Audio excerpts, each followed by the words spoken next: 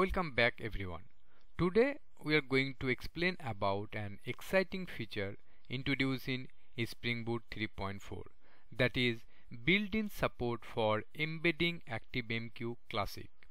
If you have worked with message driven system you know how vital message brokers are. They decouple components, it ensures reliable communications and also helps to build scalable applications.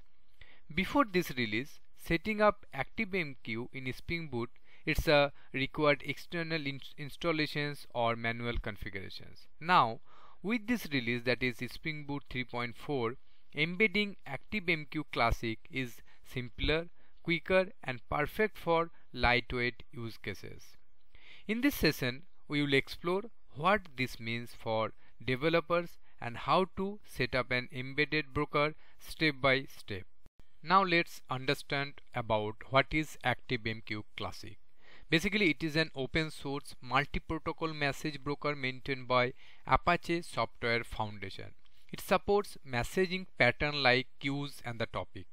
What makes ActiveMQ Classic powerful is its support for supporting multiple protocol like JMS, AMQP, STOMP and the MQTT. It's enabling seamless integration across diverse applications. You also might heard about that is uh, like ActiveMQ Artemis. While Artemis is an optimized for high performance scenarios, whereas Classic remains a go-to choice for its simplicity, stability and rich protocol support. Now let's talk about the new features that is available in this Spring Boot 3.4.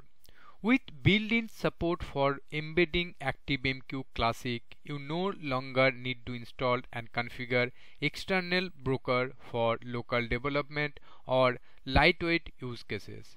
This feature lets you simplify your setup with minimal configurations. Second, it's also use an in-memory broker for quick testing. It's also configure persistence for message durability if it's needed. Spring Boot automatically integrates with ActiveMQ using sensible defaults, saving you from boilerplate configurations. This makes it ideal for small to medium scale applications, testing environments, and scenarios where spinning up a standalone broker is not practical. Next, we need to setting up embedded broker. How we are going to setting this one? For that, we need to add ActiveMQ starter dependencies into our POM file. So I will show you in practical example that how we are going to using this embedded ActiveMQ broker as a messaging system. So now we need to create one Spring Boot project where we need to add the dependencies for using the embedded ActiveMQ. So here if you see I have already created one project where I have used these dependencies for Spring Boot Starter ActiveMQ and ActiveMQ broker. So these dependencies are needed to use that new embedded feature that is ActiveMQ over here. So if you see the dependency wise, so I have used the latest version that is 3.4.0. This is the ActiveMQ Classic is come with this version. Okay. Next, what else we need to do? We need to create the respective few classes where we need to like where basically we need to use this producer and the consumer services producer means from where we need to we need to send the messages. So that actually we need to we need to create over here. So one class where we need to create the producer another class where we need to listen the data. So producer means where basically we need to send the data from that particular class. So let me create one class. So first of all let me create one class. Let's say message producer service. The responsibility of this class is to send the messages to the queue. Let me create one class. Message producer service okay?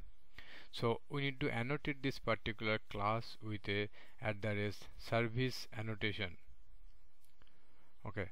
Now we need to use the use this JMS template okay? If you see that JMS template is basically coming from this org core we need to initialize this JMS4 as constructor injection we need to do over here. If you see that we have used the constructor injection. Now we need to create another method that is a send message. Means this particular method is responsible to send the message to the queue. Like if you see this JMS template actually having one method convert and send this particular method actually taking two parameters. One is the duration names and another one is the message. That means what message we need to send and this is the duration time. So this method actually we are we have used over here. Okay? And here after sending the message we are using this system dot out dot means we are printing the message. Next is the controller. So from the controller basically we need to we need to actually use this particular service to send the messages. Let me add this method. So if you see this message controller here we have used this producer service this message producer service and then using this method we are just sending the messages to this queue. This is the queue name and this is the message. Okay? Okay now we need to create another class actually the listener class the responsibilities of this class is basically it will listen the data from this particular queue. From this queue actually it will listen the data and whatever we need to do with this particular message. So for that we need to create another component actually. And here if you see we need to annotate particular method with the JMS listener. And here destination here we need to put the name this is the queue name. Like where we are pushing the data into this particular queue we are pushing the data. So we need to listen the data from this particular queue. And here if you see it's here we are receiving only one parameter that is a message. So that means whatever the message we are pass sending from over here this particular message we are going to listen from over here.